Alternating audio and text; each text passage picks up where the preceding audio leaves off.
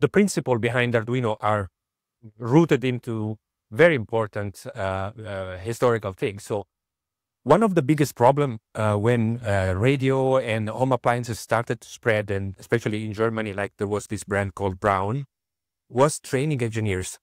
Guess what? It's the same issue we have today.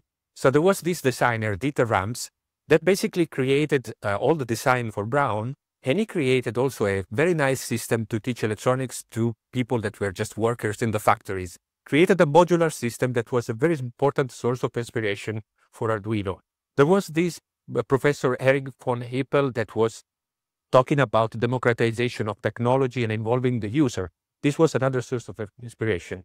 And then there was Olivetti, the, you know, uh, typewriters and computer manufacturer, was a social revolution re revolving around good design and technology combined.